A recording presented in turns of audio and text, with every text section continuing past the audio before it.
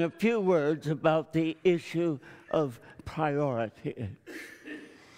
And I want to say to you that the view of God that now exists in the church is way below the view of God that used to exist in the church.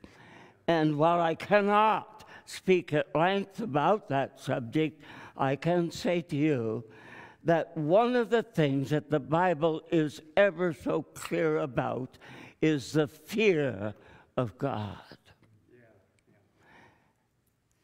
Now, there may be more areas where this is of immense consequence, but I want to speak of three. Number one, the fear of God is the beginning of wisdom.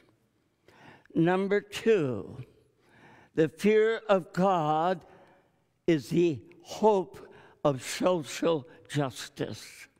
Number three, the fear of God is our only guarantee of personal holiness. Now, I don't mean to say that that covers the entirety of the Bible, but I want you to think with me on those three subjects.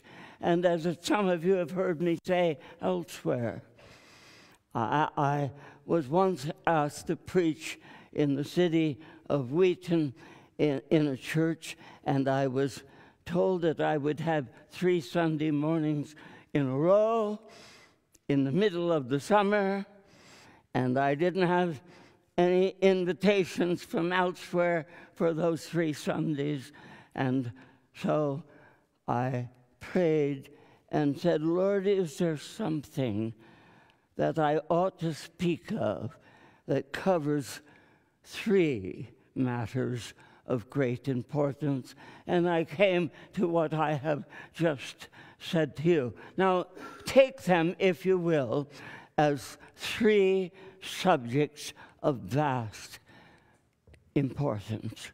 Number one, the fear of God is the beginning of wisdom. None of us have ever lived in such an age of stupidity as today.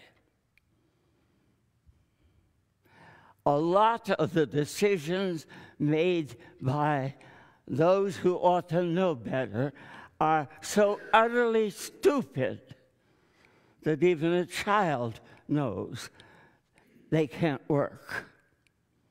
For instance, the matter of debt.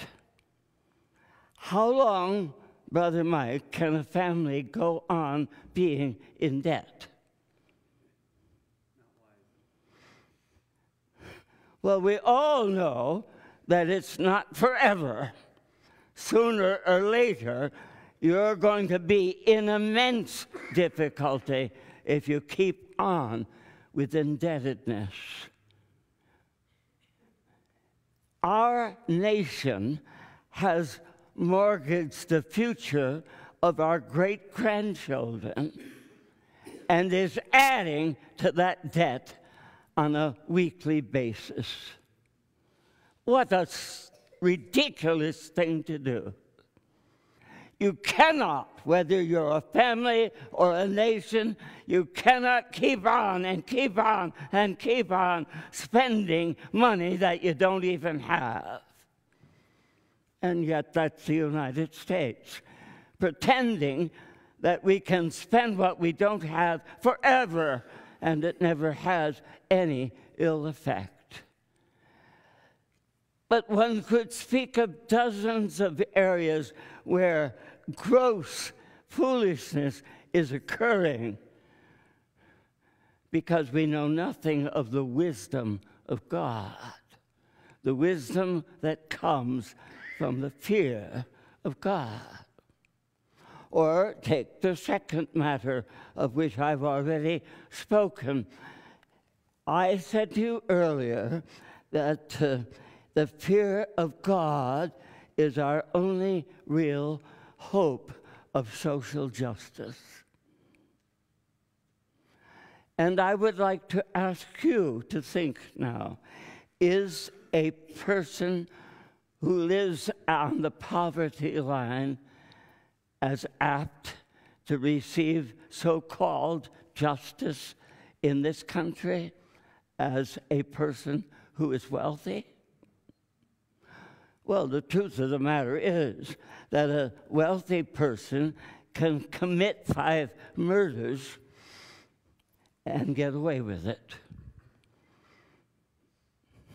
But the person without funds can't. And there's a reason.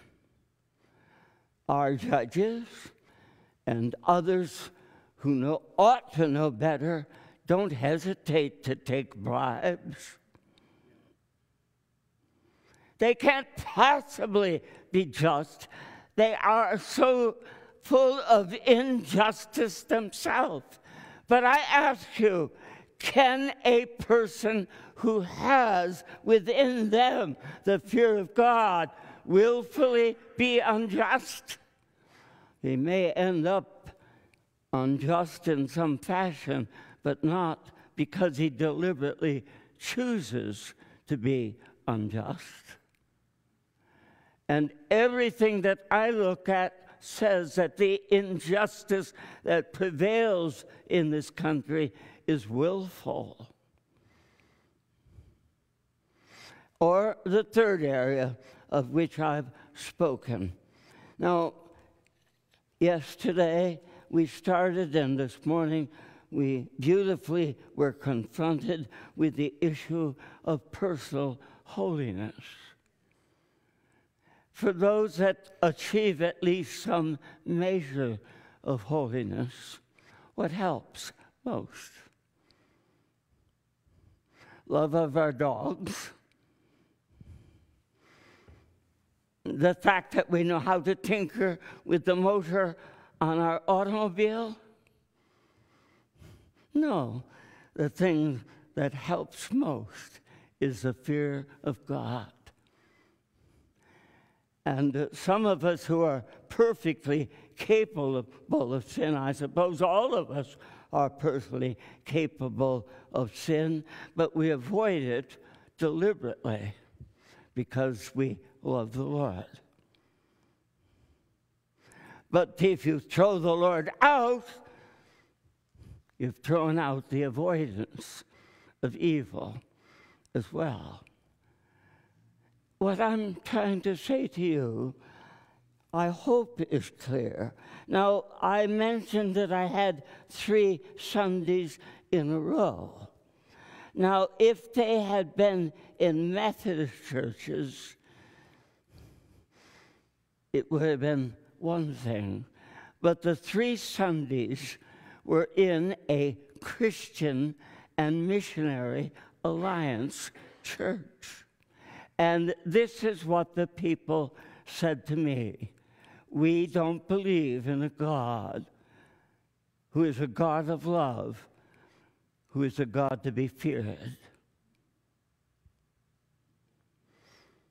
Well, frankly, a God who can send us to hell forever is to be feared, whether you believe it or not. A God who has set forth the rules of holiness is a God that can enforce those rules. Well, that's a matter I wanted to bring in front of you. The issue of priorities. But not only did I wish to speak about the fear of God, which has been thrown out by the bulk of the church. Uh, but I also wish to speak to you about the fact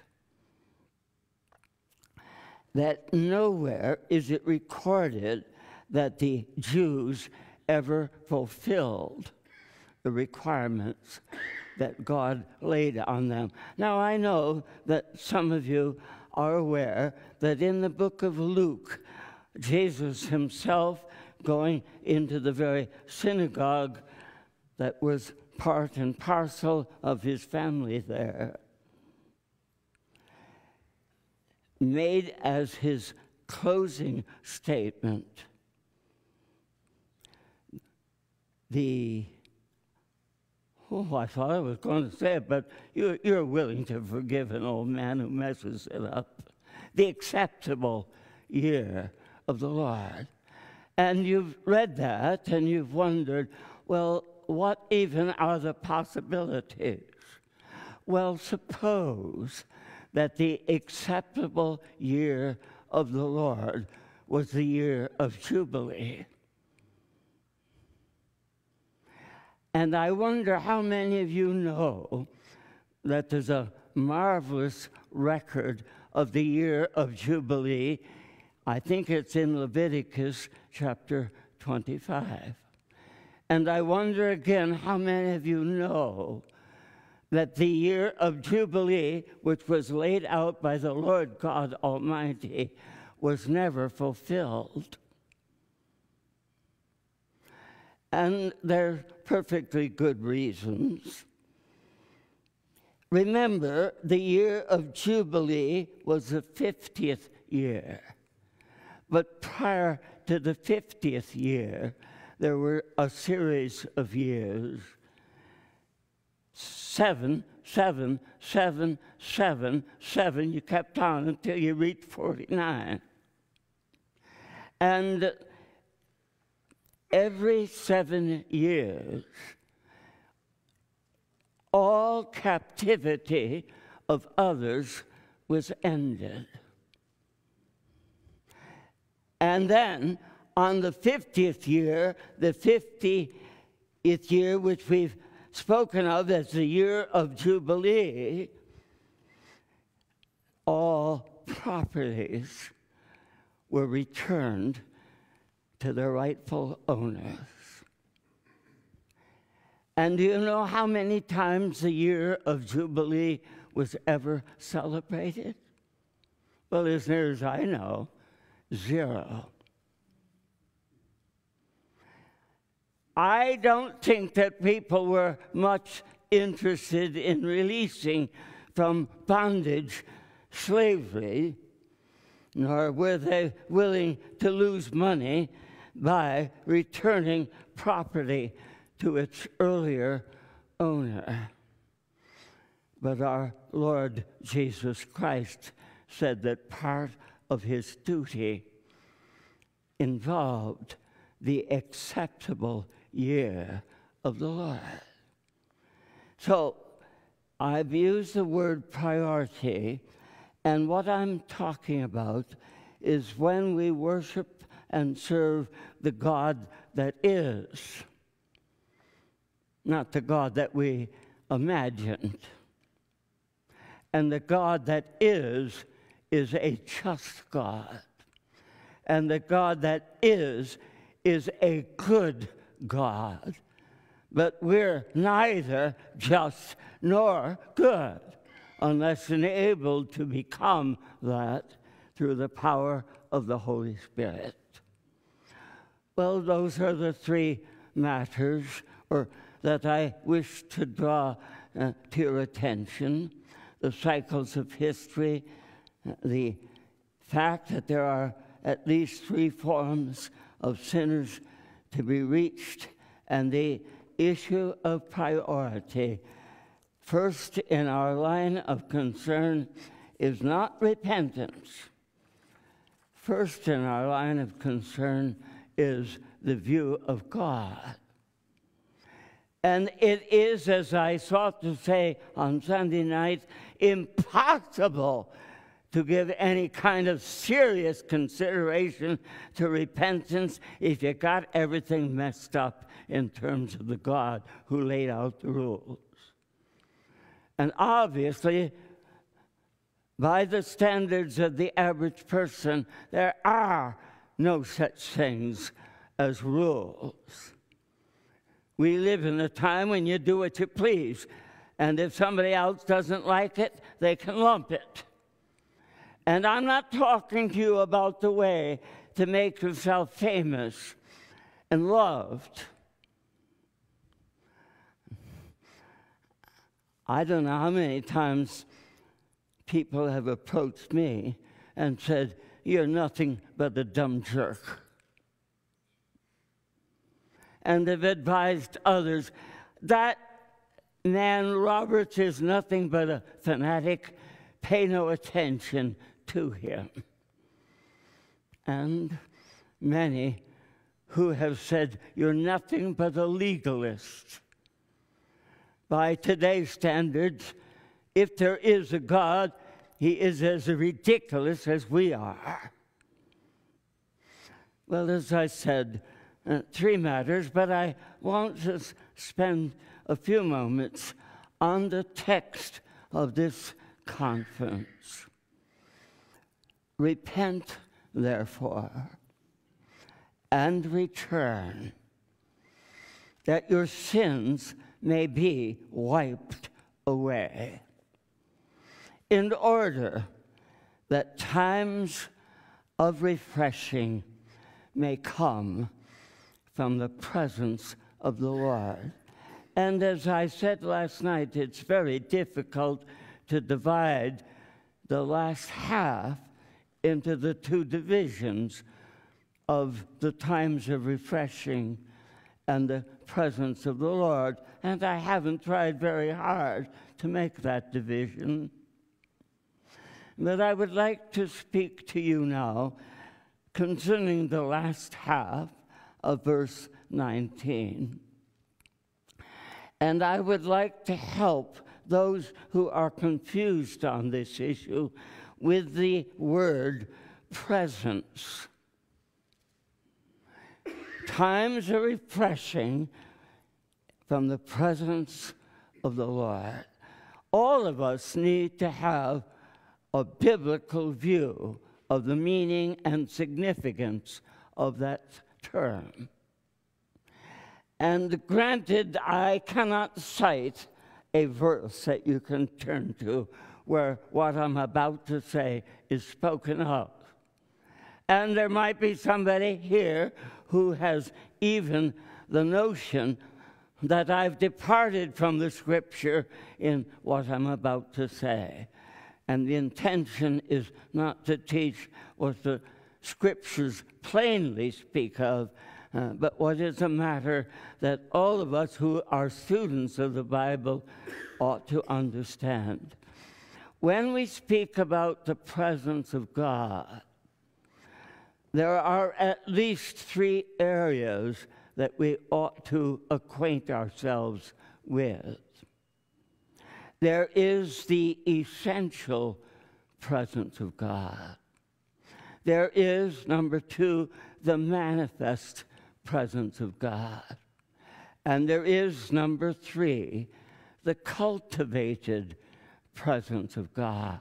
Now, those might be meaningless words as far as you're, you're, concerned. But you remember that what we've got here in this congregation tonight is some young people. I wonder if the oldest boy here were to be loaded on a rocket tomorrow morning and shot, shot out into space. How many days would it take before he was beyond the presence of God? Did you catch what I asked? How many days would he be going outward before he passed the presence of God. Three days, five days, 12 days, a hundred days, a thousand days, a hundred thousand days. You can't go anywhere where God is not. God fills both heavens and earth.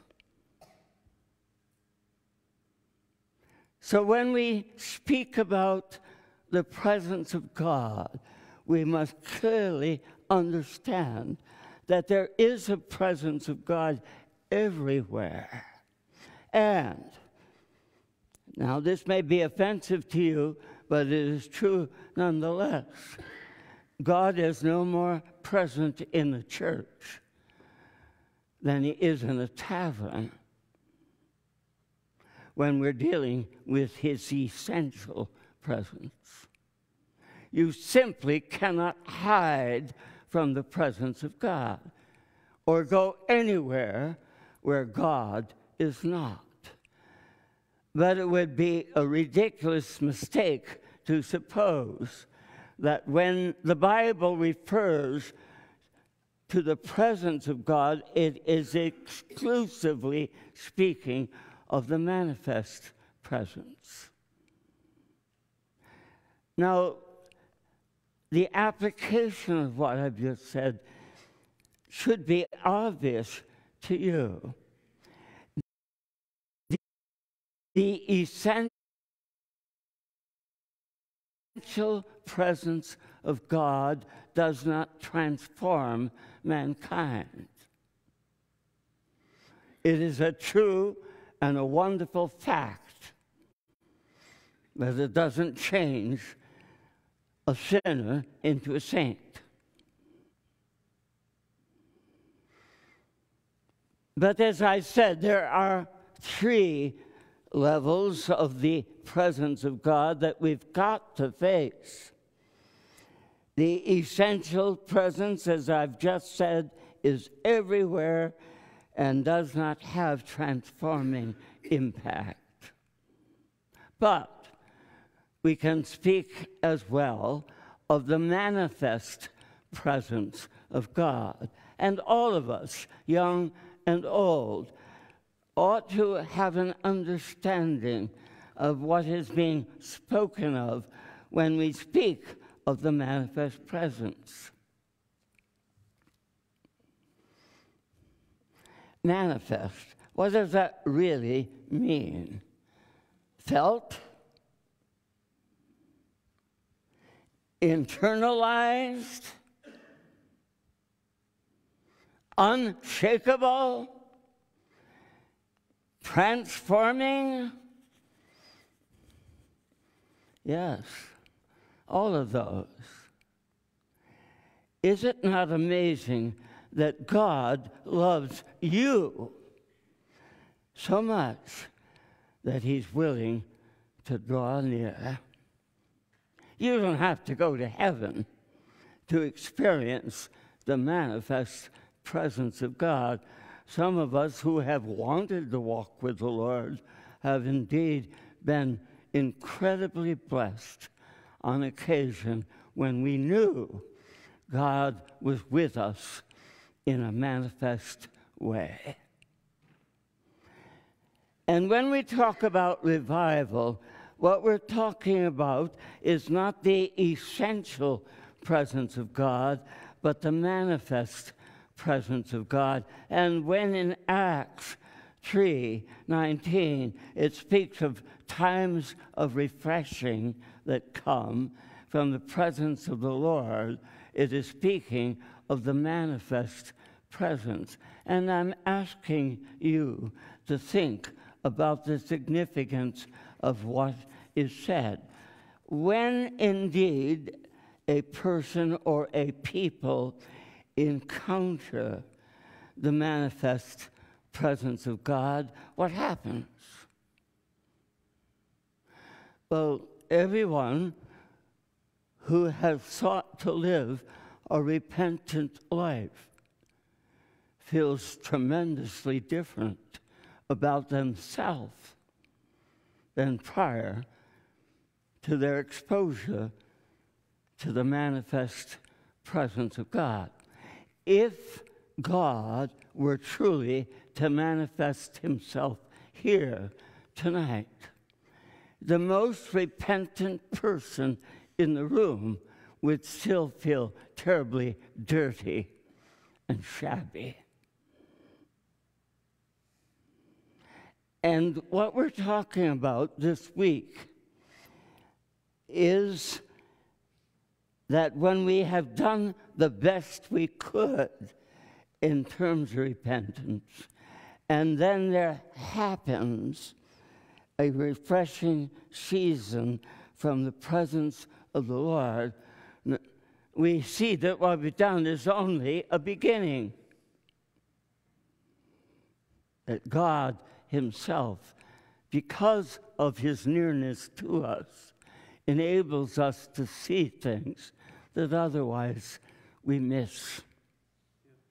So that indeed, uh, we can say concerning the presence of God, not only is it felt, not only uh, is it internalized, not only is it unshakable, not only is it transforming, but it is penetrating to a degree that what was not apparent to us before by any means is suddenly very, very clear.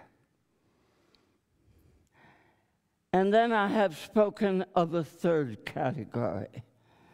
I spoke of the essential presence and of the manifest presence. And I'm asking you now to consider the third matter of the cultivated presence. Now, I've been told I'm supposed to stand here, but I'd like to come down and tap you on the shoulder and ask if you've ever faced personally this issue. Now, look, I'll be quite frank with you. We hoped for uh, a vast crowd, that this auditorium would prove much too small. And much more than that, we hoped that God would come among us in a marvelous fashion through his manifest presence.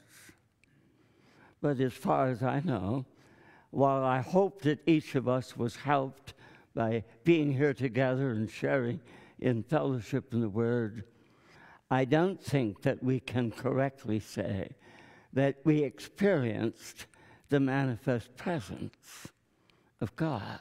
Now then, if I'm correct in what I have just said, should I go home discouraged and give up? No, of course not.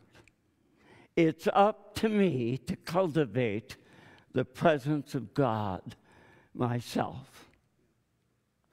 And is there any reason to think that the promise that we have been looking at of a time of refreshing from the presence of the Lord always involves every nation. No. The promise is to those who repent and return. Be awfully nice if there was more than that to it. And all the promises of the Old Testament are what we call conditional promises. For instance, one that has been cited more than once in this conference, Second Chronicles 7:14. If my people, and then it lists a series of things. Now then, this question, who is the person that decides? Uh, uh, the person who humbles himself or the God who made them. And the person who, as far as they know, have repented adequately or God himself. Well, in every case, all of these promises are conditional promises, and whether or not we have met the conditions is not up to us to decide but up to him who made these promises. But listen carefully.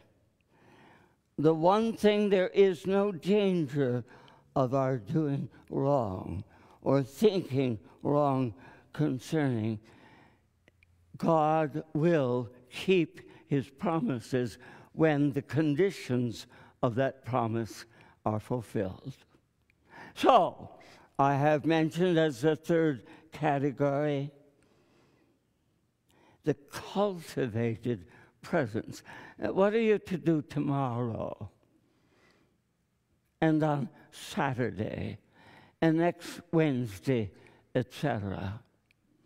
Oh, would have been nice if they had had the manifest presence in that term conference. But in that it didn't happen, I'll just return uh, to my normal foolish ways. No! It is up to me and up to you to cultivate the presence that I long for. And that cultivation might include sacrifice. It wasn't easy for many of you to get here, but here you are. And honestly, it wasn't easy for me either, though I live nearby. It would have been a whole lot easier to stay home on Sunday, Monday, Tuesday, and Wednesday than to be here. And I think that could be said by all instead of just by me. But every single day, from now on, as long as I live, which may be another week or a month or year, who knows? I am to cultivate the presence of God. And that means that I don't do anything but what I quickly repent of it if it's out of the way or contrary to God. But even more, I deliberately, on a daily basis, seek the face of the living God. It's inadequate to say, uh, well, in heaven, all of these things will be straightened out, and I'll wait till then. No, we are on a daily basis as we now live to do everything in our power to cultivate the presence of God. Now, that means at least these several things. It means accepting Him as He is and ourselves as we are not. Now, He is holy, but I am not. And I think it's safe to say that uh, those of you that I know aren't holy either, as God is holy. I don't mean to say by that that you're totally unmindful of the place of holiness, but I don't see anybody with a right to brag that they have arrived. All of us should have a yearning to be as holy as He is holy, and to know no real satisfaction until we can honestly believe that that is true of us. And looking at it realistically, I used to think as a young lad, if I lived to any age whatsoever, it would get easier. But it doesn't. It gets harder and harder and harder. And even at my age, it is immensely more difficult to walk with God than when I was a boy. But still, it is my duty and my privilege to cultivate the presence of the Lord and to yearn for his manifestation in my own heart. And then I want to mention as well that God is sovereign and we are not. Many a time, somebody has done something that I think was wrong, and I've had to bite my tongue and keep my mouth closed. I don't say I've always succeeded, but I should do that. I, I was in an automobile ride one time from a hotel to a conference center, and on one side there was a pastor of the Bellevue Baptist Church, and on the other side, there was Evie Hill, and uh, the driver turned about more than was safe, and he asked the man on my right, I've heard, said he, that you have 11,000 members in your church, and I would like to know whether that's true or not. And Adrian Rogers was mighty slow in responding. But eventually he said, Well, it's not true. We have 13,000 members. And this old guy standing here wanted to open his mouth and say, How many were present on Sunday? And right away, I realized that the motivation within toward that was not from God. And that my intention was to knock him down and I don't always see what's coming, but that time I did. And I said, Lord, help me to keep my mouth shut. And strangely, I did. and even more strangely, the next week, I was home, and who appeared in my office but the chairman of the deacons of the Bellevue Baptist Church. And he arrived in a very jubilant fashion and said to me, We had the largest attendance in our history on Sunday, and I am really excited. He said, For the first time ever, we broke the 5,000 mark. Now, it doesn't uh, take a Philadelphia lawyer to know that there's a considerable difference between 5,000 and 13,000. And I couldn't help but wonder where all those members were on Sunday when the chairman, the deacon, said they weren't in church. And I understood that in the earlier days of America, a church might have 17 members and 680 in attendance. But things have radically turned around so that we'd be almost safe to say that every single church has more members than attenders. And sometimes that difference is in multiple thousands. Look, friends, there is something about the church distinctly different from the Lord. What the church is now boasting about is often something that the Lord Himself has condemned. After all, as I said, He is sovereign, and we are not.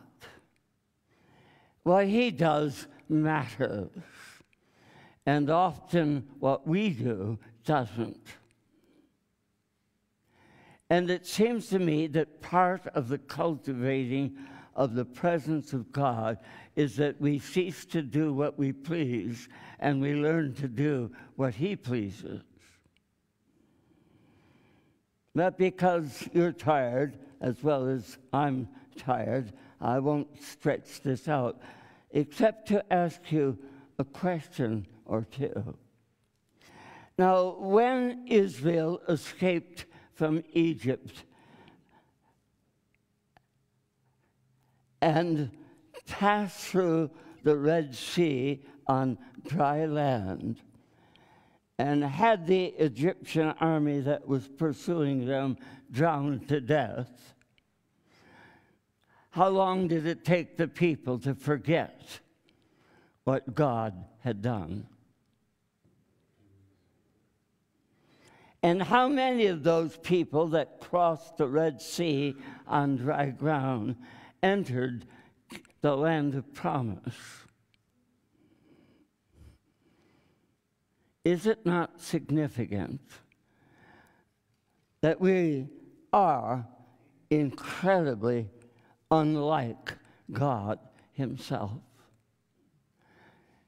He could make the Red Sea wall up so that people could walk across on dry ground. You can't do that.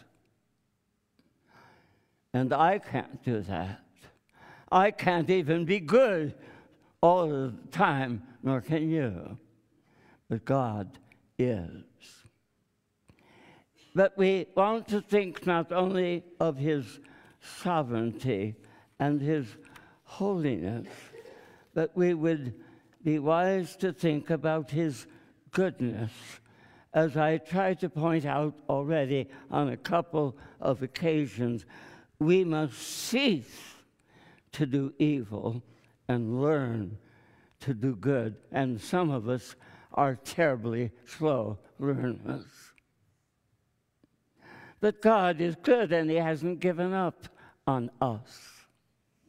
But I move from that matter uh, to the fact that we know that God is good. Now, I've been married just over 60 years of age, and my dear wife Maggie, who, as most of you know, is badly crippled, and that's why she's not here, has called me a great variety of things.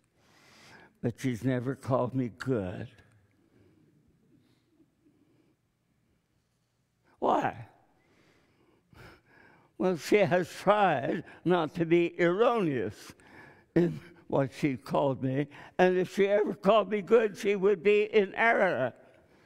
But God is good, even though I am not. And in cultivating His presence, I must learn about the things that He likes and pursue them more than concern myself with the things I like and pursue those matters. And then I want to say to you also what is obviously true God is eternal. And I've talked to you a moment ago about being gone from this earth in a few days. Not because I know that's what's going to happen, but because I know that it could happen. And it is possible that every single person in this room will be gone before I am. Now, I've been around longer than, as far as I know, anybody who's here. But God has been around a lot longer. God is truly eternal. I didn't always exist, even though I will never die.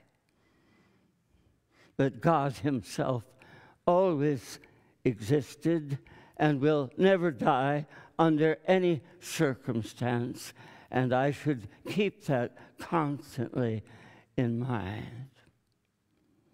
But also face the reality that when we cultivate the presence of God, change is guaranteed.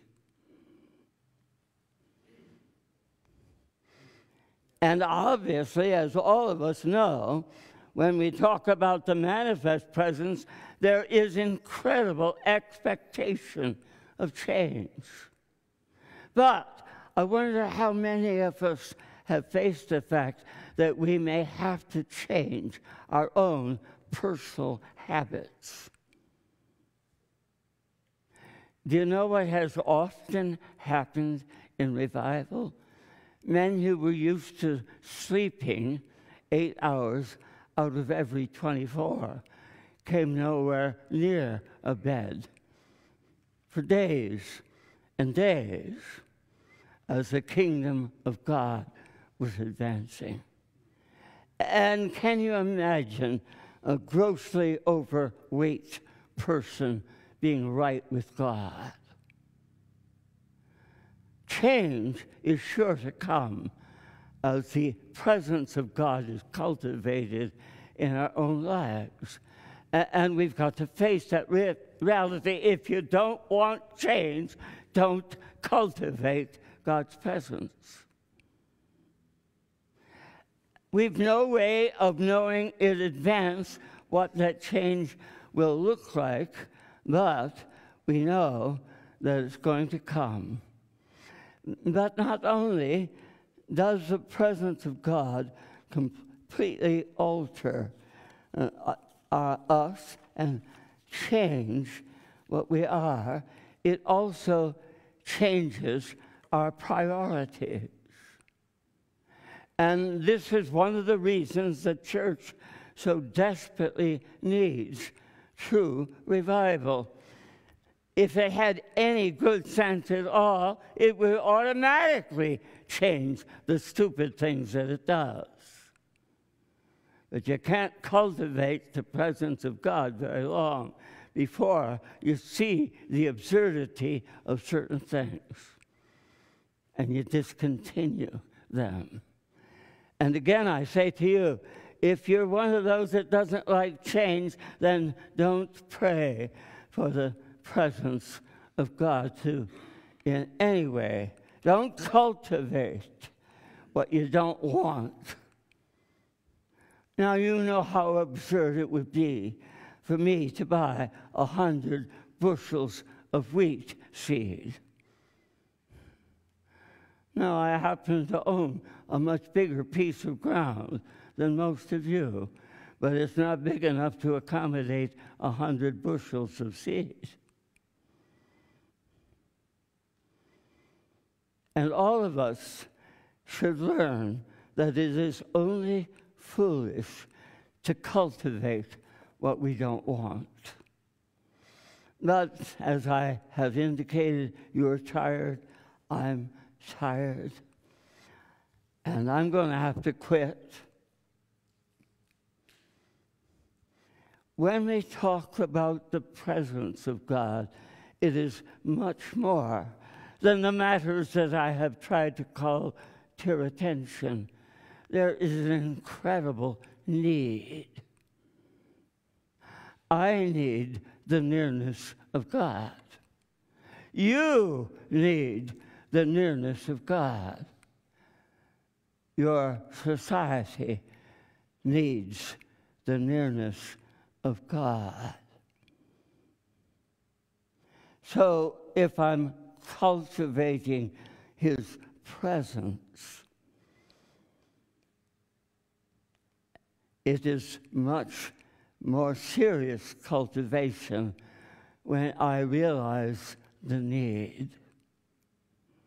And when I'm motivated by the realization that God Himself can change and does change what is needed. Right now, every one of us should repent as fully and completely as we know how and in cultivating the presence of God, we'll add to the number of things we need to repent concerning. And so I close this brief series by saying that the promise is given to those who repent and return, but it is God who decides who has repented and returned, and who hasn't?